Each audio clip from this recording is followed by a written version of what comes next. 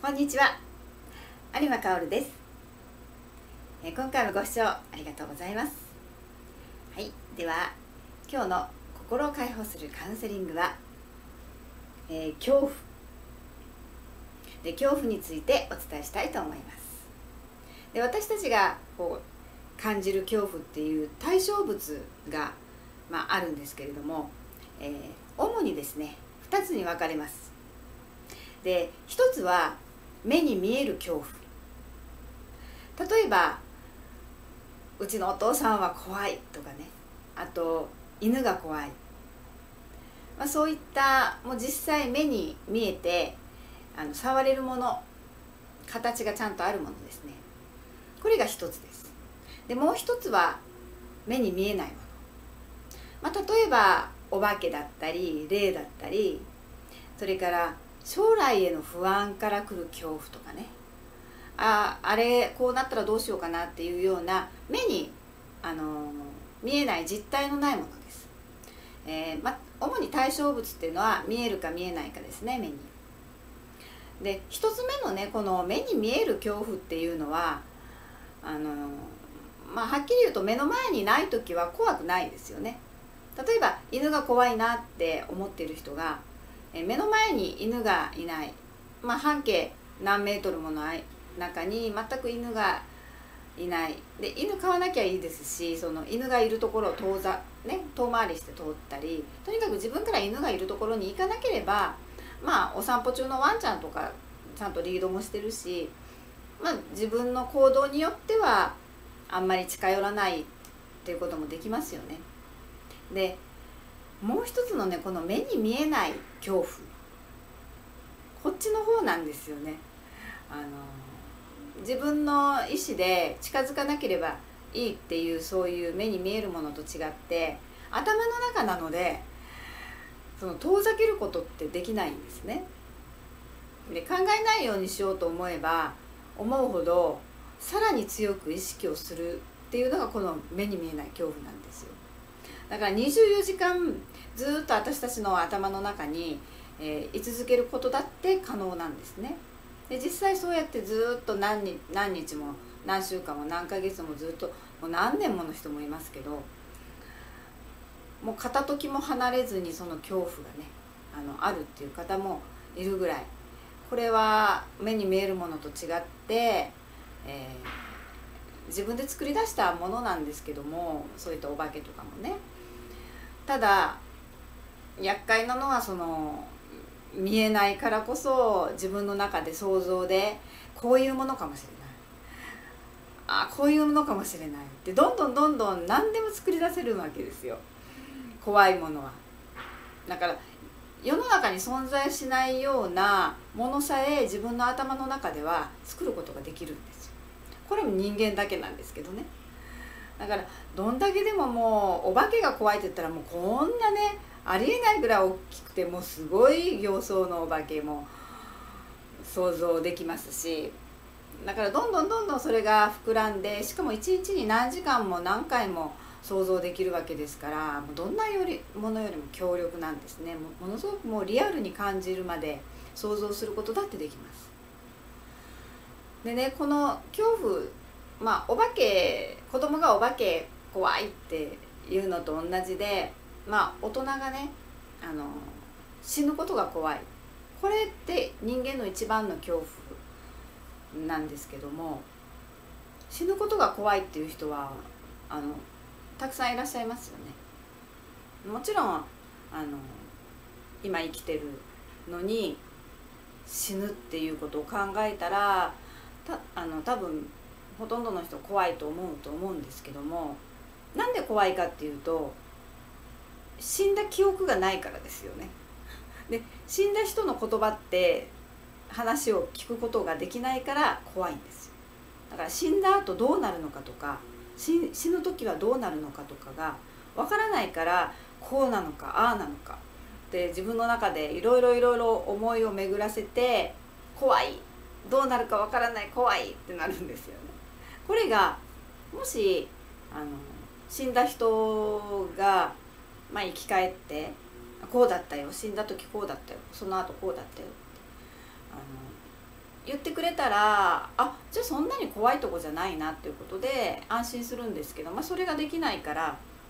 想像してしまってもしかしたらすごい地獄に落ちてこんななんじゃないかって話聞くこともありますよねそういう。そうするとすごく怖い怖いってなるんですよねだから子供がお化け怖いっていうのも同じようなもんで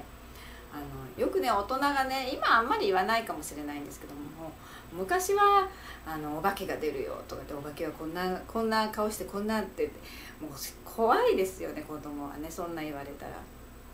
だからそれで子供の中の子供の頭の中で「あお化けってこんなんだこんなんだこんなんだこんなんだ」ってわーってなっちゃってあの目に見えないからこそ怖いんですよだからもう子供にとってその犬とかよりもあの目に見えないそういうお化けとかの方がよっぽどあの多分怖いですよね。で自分で想像してで実際見てない目に見えてないからどんなものかわからないそこが一番怖いんですよね目に見えないものっていうのは。でそしたらもう頭で作り上げるものってたくさんあるのでどうしたらいいのっていうことになるんですけどもあのこれは自分で作り出してるものなので、まあ、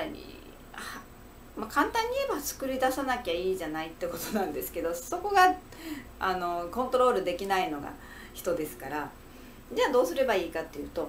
あのそこ発想をちょっと変えてねあのいいあの悪いものをそうやって作り出せるんだったら将来の不安とかねお化けとかねだったら反対にいいものだって作り出せるんじゃないかと思うんですよ。まあ、例えばお化けを作り出せるとしたら、まあ、霊とかねそれだったら天使とか妖精とかそういった可愛いイメージの美しいものってていうのも想像できるってことですよね。で例えば病気だったりとかその貧しい老後を将来の想像をするできるんであればあの健康で豊かな老後っていうのも想像できるんですよ。自由ですから想像するのは。で自由に自分で作り出してるわけですよね今。あの将来お金がなくなったらどうしようっていう不安とかも結局は自分の想像ですよね。だって今現実にそうなってないわけじゃないですか。あの年もまだ若いでしょうし、えー、お金もまだあるわけですよね。だからそれが先のことを心配してすごい不安になって怖い恐怖っていうふうになってるんですけどそれって大体起こるかどうかまあわからないものですしでも自分の中ではこうななるんじゃないかなっていう想像ですよね。だったら違う想像だってできるってことですよね。あの何もそういったマイナスのイメージしか私たちは想像できないわけではなくていいイメージ自分がこうなったらいいなっていうイメージだって描くことは可能なわけですからでそっち描いちゃえばいいじゃないっていう話なんですね。だからこっちをねあの想像しないんじゃなくて違う方を想像していけば反対の方は想像しなくなりますからどうせ想像するなら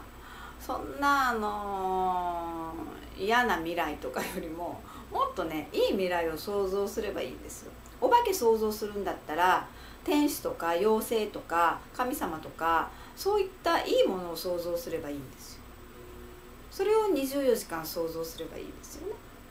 毎日毎日あこうなったら大変っていうようなことよりもあの心がね安心したりとかあの美しい綺麗なものとかを想像すればいいんですよ。で結局ねそのずっとまあ聞いたことあると思うんですけど自分がずっと長い時間しかも強烈にねリアルにあの思い描いたことが実現するって聞かれたことあると思うんですよね。でこれ実際本当なんですよ。あの強く強く思えば現実になるんですよ。だからもしあなたがあの老後はこうやって貧しくてもう毎日生活するのがやっとで貧しい生活っていうふうに想像すればあのそうなる確率ってすごく上がっていくんですよねだって今もし40歳だとしたらまあ、80歳を想像したとして40年間それをずっと想像し続ければそういうふうになっていくんですよね。で例えば今から40年間あのずっと健康であの生き生きとした自分でいてでお金もたくさんあるっていうのを想像40年間もすれば間違いなくあのそうなれますよだから本当にねその想像の力ってすごいんですよね。想像したものがしかも長い時間リアルそして、えー、強烈にね何回も頭の中に想像をすることができればそれを信じることができれば確かに現実にはなりますだから今そうやって恐怖恐怖で想像してたら先もおそらくその恐怖が今度は目に今までは目に見えない頭の中だけのものだったんですけど今度は目に見える形となってあなたの前に現れることになります。これそれはまあ引き寄せっていうんですけどね。だからどうせねするんだったら想像するんだったら自分がこうなりたいっていうものを想像した方がいいですお金かからないですしあの今日からそれを今まで想像してた悪いことをいいことに変えるだけです。ね、目に見えるものはもうしょうがないですよ。もう自分から遠ざけたりとかね近寄らないっていうふうにすればいいだけのことですからただ頭の中のものはそうやってあの自分でね想像する対象を変えていく。これしかないです。全部自分の創造物ですから。何でも作り出すことができるんだったらいいものを作り出せばいいわけですよ。っていうお話です。はい、えー、じゃあ今日はですね、えー、恐怖についてお伝えしました。最後までご視聴いただきありがとうございました、えー、有馬薫でした。それではまた。